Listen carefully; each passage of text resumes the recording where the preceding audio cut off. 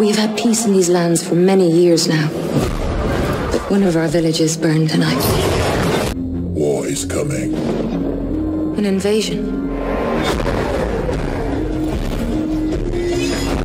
If we do not unite to fight this enemy, our world will perish. Saving the world is not a one-man job.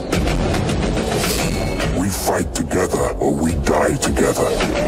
You'll have me to protect you. I need no one to protect me. Well then.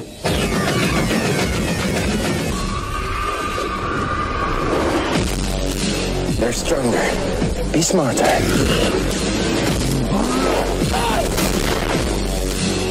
This war will destroy us all. But together, we might stand a chance. Whatever you plan to do, do it now!